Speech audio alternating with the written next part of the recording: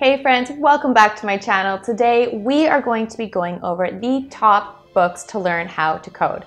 And these books have been around, some of them for quite a while, some of them are relatively new. Some of them helped me when I was first learning how to code, especially with technical interviews and going through different kind of algorithms. It really teaches you how to think in a programmer way, in a logical way, I should say. Before we get into them though, make sure to hit that subscribe button for more tech and coding related videos. Shout out to some of these subscribers here. Thank you for being wonderful.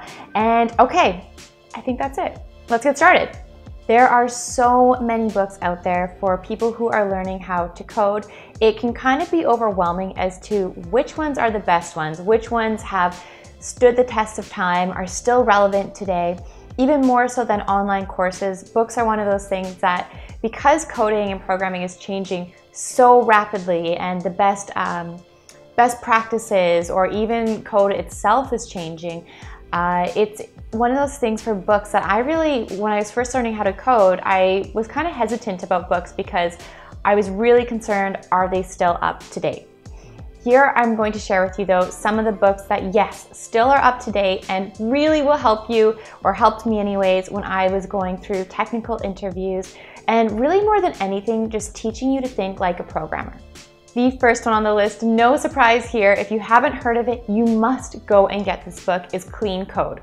Clean Code is by Robert C. Martin and it has been around for a while, but it is a staple for anyone looking to do a technical interview.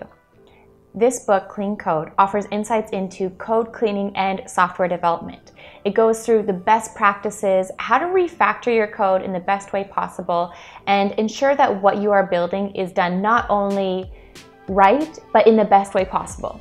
After you are done reading this book, you definitely will have a ton of different takeaways of how to better structure and clean your code. And also too, you will be able to implement the agile methodology into your coding practices.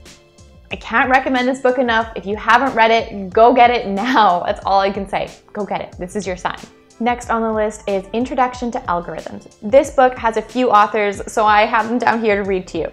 Thomas Cormen, Charles Leiserson, Leiserson, I'm sorry if I'm saying that incorrectly, and Ronald Rivest. Just Google introductions to algorithms and you'll find it, I'm sure.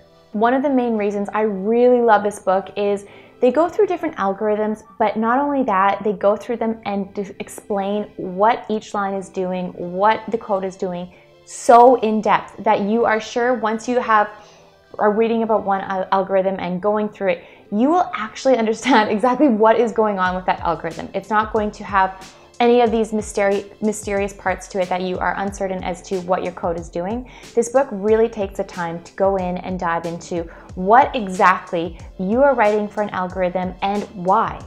This book uses pseudocode to ensure that it is accessible to all developers of all levels. Even if you are just starting out, this book is one that you can pick up and really learn from very quickly. Also, this book has recently been revised, so if you are looking for it, make sure to get the most up-to-date copy. Next up on the list, similar to number one, is A Clean Coder. And this is by the same author, Robert C. Martin. And this book covers best practices, techniques, and different skills for you to utilize when you are learning how to code. And it's one of those things that it's an amazing book if you are looking to not only just learn how to code, but also to better your code.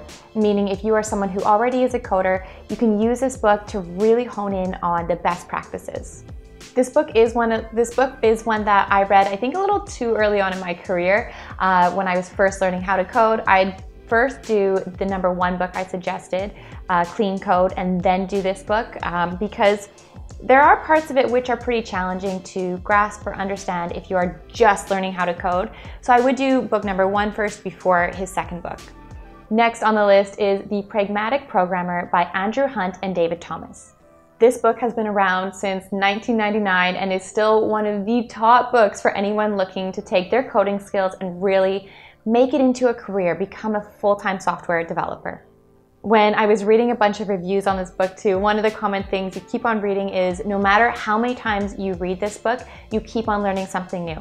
This book is truly one that you will invest in, and if you keep on going over and reading it, you're going to keep on finding new things that come up. Especially as your coding career keeps on growing, there will be different things at different times in your career that you really need to focus on. And this book, when you're reading it again, you'll pick up parts that maybe earlier on in your career you didn't pick up as much. I also really like this book because it doesn't just cover programming itself, although that is a very important part of it, of course, but it also touches on career growth and really how to sustain a long career. And I think that's really important because a lot of these books really just focus on the programming part, which of course they do, that's what they're there for. But I think it's so important to highlight the career side and the personal and professional growth as well, because as technical people, we often push the soft skills to the side just to focus on the technical skills, when in reality, our soft skills are equally, if not more, really important. And next on the list is a book that really breaks down complex design patterns or frameworks in a very simple and easy to understand way, which is Headfirst Design Patterns. This book is a must have for anyone who really wants to break down different design pattern concepts and have an understanding of different kind of frameworks and patterns going on. This book is by a few authors. Let me read them here. Eric Freeman, Bert Bates, Kathy Sierra, and Elizabeth Robson.